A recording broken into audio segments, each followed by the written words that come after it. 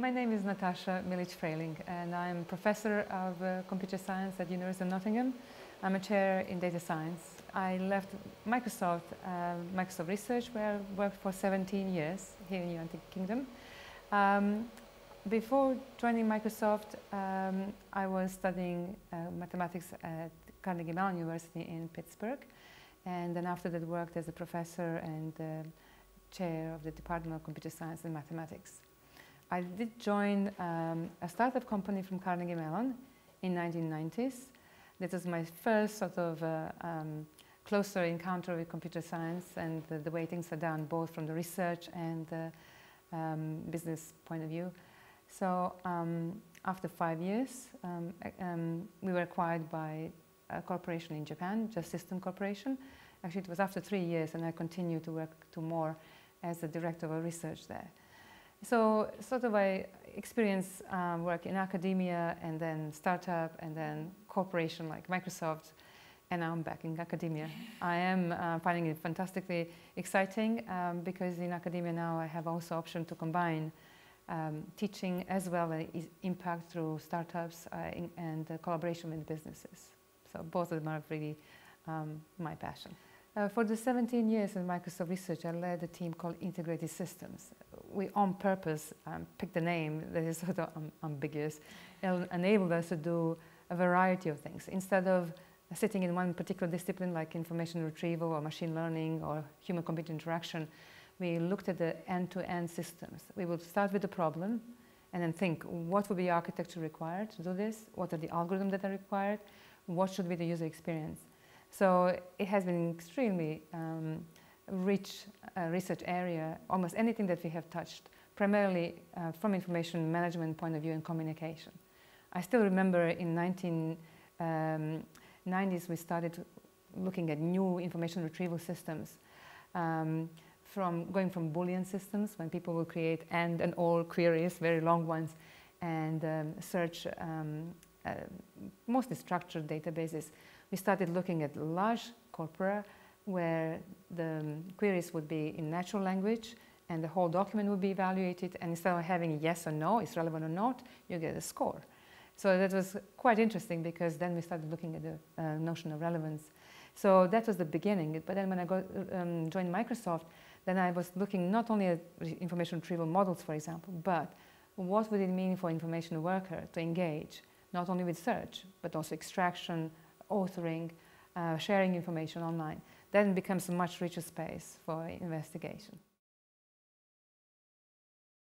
Uh, privacy in computing came very naturally from uh, information management because we have observed essentially um, transformation from um, information retrieval in sort of library system where you have a single database and you search or something, suddenly going onto the web and web being such a complex infrastructure requires also very complex sustainability models and um, very quickly became interesting from the business point of view because we have seen what are the business model that sustain the internet.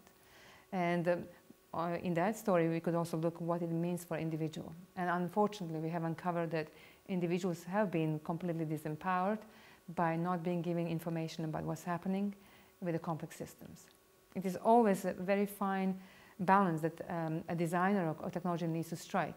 It needs to provide uh, technology that's usable by people in everyday life, yet it needs to inform enough so that people can make intelligent decisions. When I'm driving a car, I don't really need to know how the car engine works, but I'm giving a steering and I give brakes, and I give the lights, and I know how to use it. And from that perspective, it's completely transparent. What is the value exchange? if I'm given a browser and I'm not being told that when I'm browsing online, there is a tracking uh, behind the scene and exchange of my data, doesn't let me make an informed decision. It is hard for uh, everyday um, um, practices and individuals who do not edu uh, have education in computer science to uh, uncover what's going on behind the scene because their only communication with the system is through the user interface. And user interface is pretty much pretty, and uh, they have the buttons that are easy to click, and they're basically happy that they can use it. But they're not being told what the traffic is behind. Of course, they don't need to know everything that's happening behind. It's very complex. But we need to provide enough information for people to know uh, how much exposure there is. So I think education is absolutely critical as a first step, becoming aware um, what is going on. And then articulating preferences. There need to be some sort of engagement between individuals, the technology providers and the businesses, some sort of dialogue. Unfortunately, there is no dialogue at the moment from the consumer side. Technology has entered our lives so quickly. Um, it came at a speed that nobody expected. So my generation, I myself finished a whole PhD in mathematics using pencil and paper. I was writing my thesis on a Mac machine, primarily using as a, as a typewriter. That was, the end, that was how technology entered my life. And my children are born in it. But what's lacking, none of, none of them actually is educated about um, tracking or cookies in, in, in schools. Um, they are giving advice. So definitely information still get, has to uh, get into um, normal education curriculum. I'm really happy now to see that education is starting to pick up on uh, skill sets um, related to uh, programming because I expect in 10, 15 years from now when people um, use computing technologies, they will, be, they will want to become more inventive. They, they're already playing with the uh, various devices and customizing them. And I expect that computing will become like another alphabet. It will be something that they will be proficient in and without even knowing that it is hard. For most people now it's hard. But we, we learn how our alphabet very early age and, and it becomes natural. As, as many of the visionaries in computing have already pointed out, we are just at the beginning. Just at the beginning. The computing technology is starting to enter in places where we, we did not expect, in our washing machine and the fridge, but also in our you know, uh, pacemakers, and, and soon they will be enhancing our capabilities. From the memory point of view, we are also seeing uh, fantastic applications in situations where we need to uh, replace, uh, have artificial limbs. Um, soon we will be doing um, in medicine curing um, and people with uh, guarded uh, or guided um, capsules and so on. So we can't even imagine where this is going to go. The question is about understanding, and if there is an intervention that's required, it has to be done by a human. Is it, is it the case that we will want to know if we have an enhancement of our you know, capacity, how to tune it, instead, uh, instead of waiting for somebody else to tune it or become hooked in some um, centralized machine?